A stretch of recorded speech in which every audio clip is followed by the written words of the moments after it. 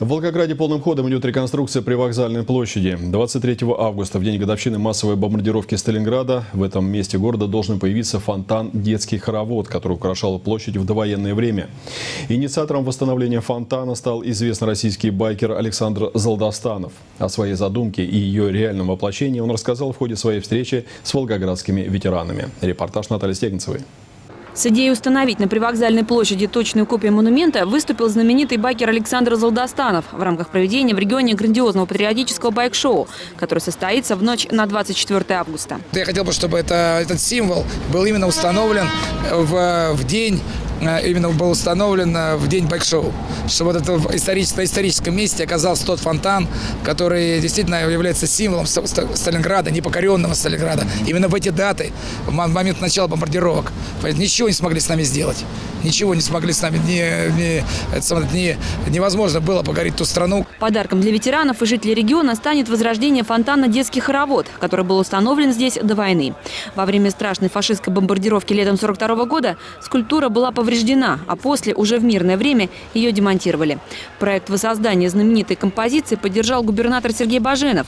Он дал поручение правительству региона оказать содействие и в благоустройстве привокзальной площади, и в организации самого патриотического мероприятия. Чтобы действительно это мероприятие стало значимым, это, оно носит чисто патриотический характер. Губернатор сегодня это не просто поддерживает, а возглавляет эти мероприятия.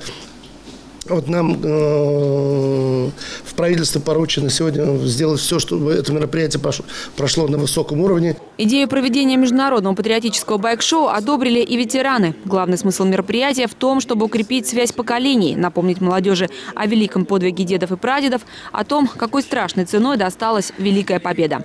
К слову, этот проект задуман еще и как символ братства между славянскими народами. Планируется, что между Севастополем и Волгоградом будет подписан побратимский договор.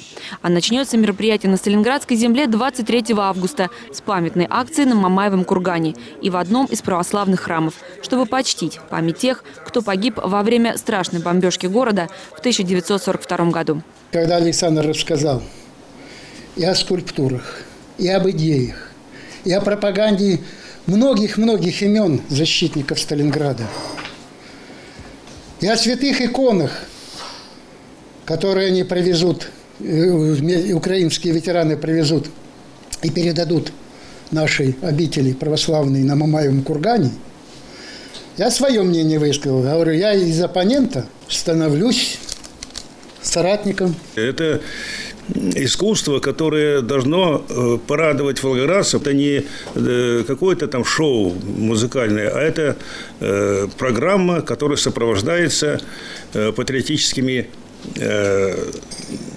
песнями, музыкой и так далее. Вот это э, очень важно. Особенно понравилась ветеранам идея возрождения одного из символов довоенного Сталинграда – фонтана на привокзальной площади. Уже известно, что копия этой композиции в виде разрушенной в результате фашистских бомбежек скульптуры будет установлена как памятник возле мельницы, рядом с музеем панорамой. Ну а действующий фонтан воссоздадут на привокзальной площади. Работы здесь уже идут полным ходом. Наталья Стегнцева, Мария Иванченко, Алексей Лунев, телекомпания «Ахтуба».